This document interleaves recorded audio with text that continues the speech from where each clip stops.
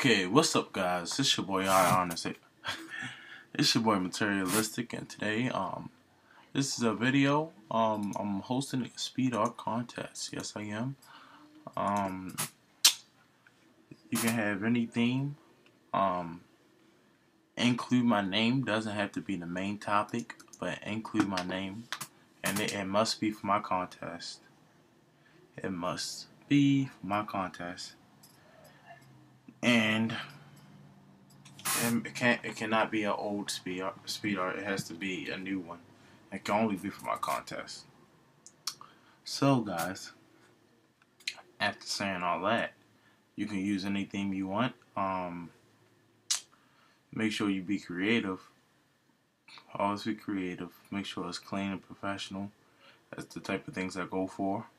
Um, prizes. Um, first place. Um, 15. Um, second place, uh, I mentioned in the video in sub box. Third place, uh, get a um honorable mention. Oh, honorable mention in the sub box. So, first place gets well, first, first, second, and third gets video uploads. Oh yeah, most important thing, make sure the music isn't copyright. If your video, your music is copy has copyright music, I will not allow it in my contest. So make sure it's not. So first, second, and third video uploads. First place wins fifteen dollars plus video upload and sub box. Second and third gets sub box, sub box, and video upload. And third place gets sub box and video upload. So guys, just make sure good clean.